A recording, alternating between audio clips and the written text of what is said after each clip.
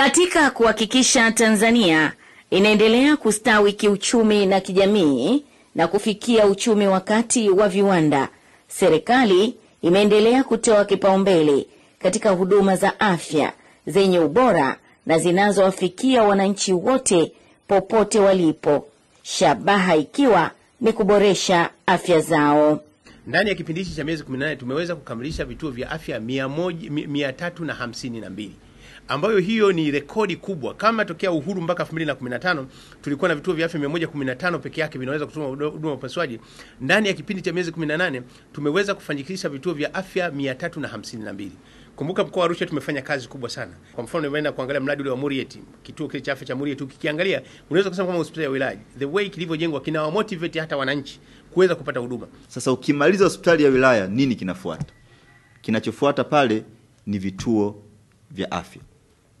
Serikali hii ya awamu ya tano, kama nilivyosema hapo awali, inakwenda kufanya maboresho kwenye vituo vya afya kumi na sita ikiwa ni pamoja na kujenga vituo vipya kabisa tisa na kukarabati vituo saba na kila kituo kimepewa fedha na serikali.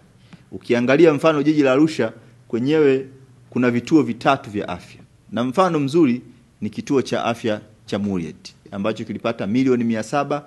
Watu wengi ambao wanatembelea vituo vile, hasa kituo kile cha Muriet, wanasema hiki ni kituo au ni hospitali ya wilaya.